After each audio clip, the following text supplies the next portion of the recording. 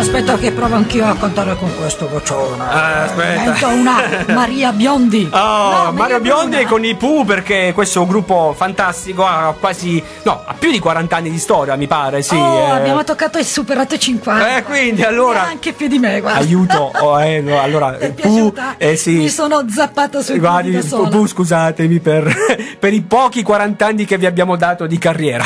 Beh, gliene hai tolti 20. Eh, beh, insomma, dai. Beh, perché loro sembrano sempre giovani anche quando parlano, quando si presentano, quando Ma fanno tutto. stare, la rughetta ce l'ha. Va bene, va bene. E allora noi abbiamo avuto questa possibilità, i Pooh ci penserò domani, loro hanno fatto tanta musica, ma amici senza figlie C'è digitali. qualcuno che pensa a fare musica oggi. Oh, ritorniamo con il colpo di coda e allora abbiamo la possibilità, quest'oggi abbiamo deciso di ritornare con la musica e la musica cantautorale e lo facciamo con un artista nostro, locale, foggiano. Ladies and gentlemen, a voi Alessio. Ciao Alessio! Buongiorno a tutti amici, Oh, buongiorno. Alessio. Alessio, eh, sveglia, su. Eh beh, Alessio, Ciao, scusami. ciao, eh, scusatemi.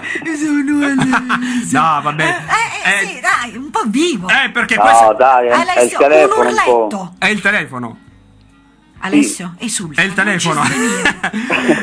ok. Allora Alessio, noi ti abbiamo chiamato perché eh, dicevamo, parliamo di musica cantautorale e beh, eh, tu ne fai di una professione quello di essere cantautore. Beh, ci spieghi un po' presentandoti, ecco, chi fa eh, la musica in questo senso, come la compone, come la si fa, ecco. Ok, innanzitutto buongiorno a tutti. Scusatemi, sono, un- sono un po' emozionato, quindi ripeto, No, no, no, no. Non ripeto il buongiorno. Buongiorno a tutti amici, buongiorno. Buongiorno a voi. Ok, allora raccontaci un po' Ok. di chi fa il cantautore, di che cosa si occupa, ecco. Allora, sì, io penso che la musica cantautorale sia un modo personale di esprimersi, di esprimere se stesso innanzitutto, Sì? ovviamente con la musica e con le proprie qualità. Mm. E penso che sia anche mm, in particolare un modo di voler condividere la propria, la propria personalità, eh, i propri pensieri, i propri umori.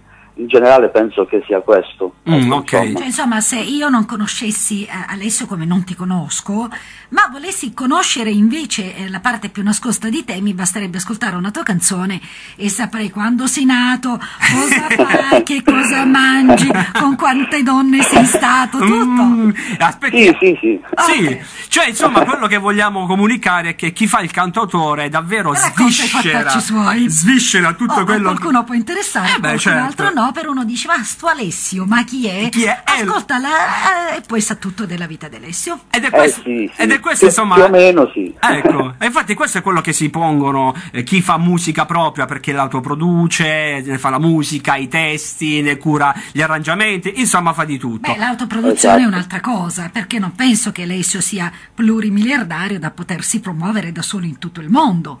Purtroppo Oh. non ancora, voglio, voglio essere ottimista dicendo non ancora. Ma, ma- ma- ma- Oh, eh, hai visto? ci piace, ci piace. Senti Alessio, ma un cantatore scrive prima, eh, questa è una domanda che ho rivolto spesso a molti Esatto. cantatori, scrivi prima le musiche o le parole?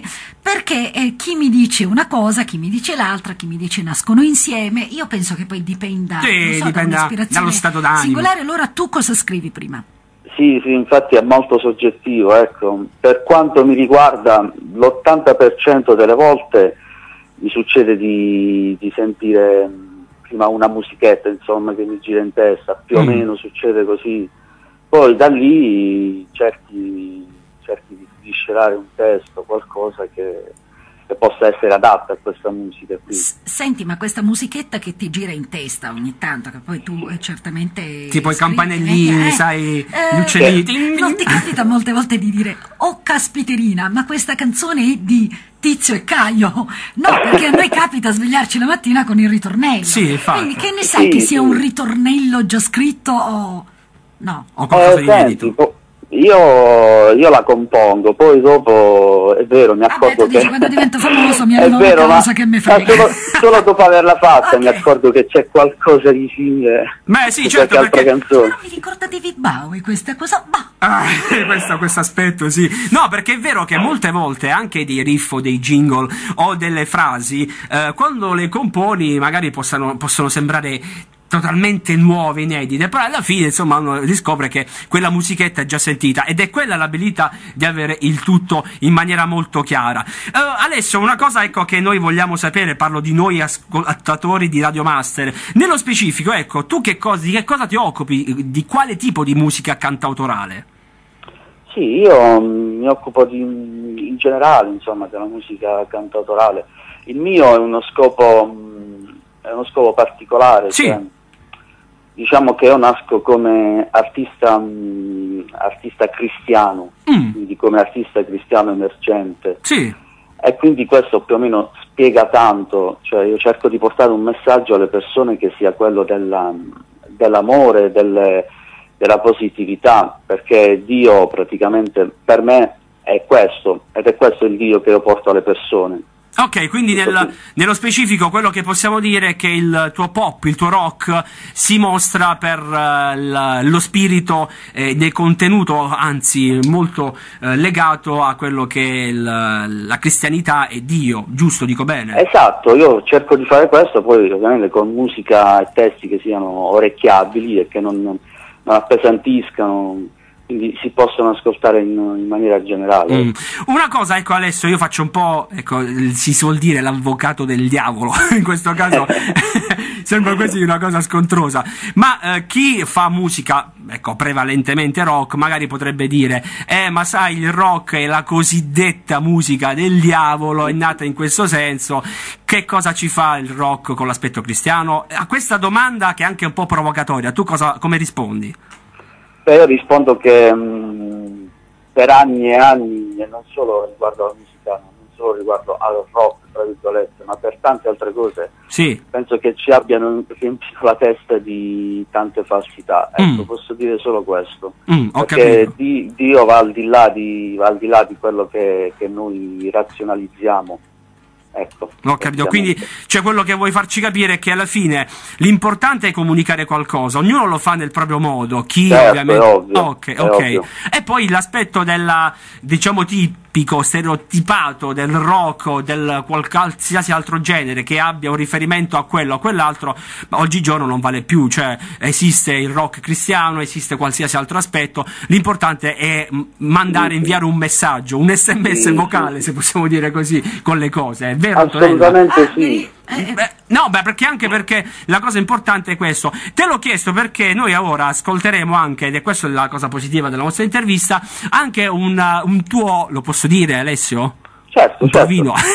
ecco. Ma dovresti dirgli una parolata. No, che detto parolaccia! ma- Rovino. No, Vabbè. perché...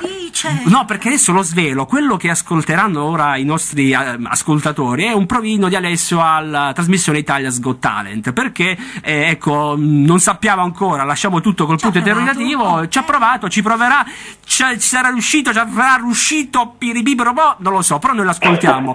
e il pezzo se vuoi Alessio, ecco, anche con un tuo messaggio finale lo puoi lanciare tu, non c'è problema. Sì, sì, d'accordo. Vabbè, è compreso, è compreso tutto nel video, quindi... Ok, perfetto. Quindi Alessio, un'ultima cosa, un tuo messaggio finale come consiglio anche che puoi darci? Sì, io allora quello che sento di dire è di non abbandonare mai i propri sogni, Mm. ma portarli a termine. Cioè, mettendosi un obiettivo davanti e dire questo voglio fare e questo devo riuscire a fare. Ok, perfetto. Insomma, proprio, tu sei proprio uno di quelli che eh, chi di speranza vive e disperato muore, ci crede. Eh, certo, per Ma poterlo quello affermare, della per speranza è l'ultima a morire. Eh sì. Esatto. Vabbè, Esatto. Ok, Alessio, Ciao, io, io ti ringrazio per la possibilità dell'intervista, lanciamo il pezzo e per il provino di Italia Ascoltare. Ciao Alessio, Ok, ciao. grazie a voi, ciao, Ciao, ragazzi. ciao, ciao. ciao, Coppola, ho 28 anni e vivo a Foggia. Sono un cantautore e lavorare facendo musica è sempre stato il mio sogno. Ma a causa di problemi economici e divisioni in famiglia sono cresciuto cercando una strada che non era la musica e ho vissuto così anche di molti sacrifici, fino a quando dopo aver avviato e chiuso un'attività commerciale in pochissimo tempo, stanco dell'ennesima delusione, ho deciso di fare quello che avevo messo da parte per, per troppo tempo, cioè dedicarmi alla musica. Oggi scrivo e canto con lo scopo di condividere le mie esperienze e le cose belle che la vita ci offre. Credo in Dio e credo che la fede in Lui porti qualità nella vita. Il brano che ascolterete è intitolato Solo un uomo ed è stato scritto, arrangiato e prodotto da me. Buon ascolto.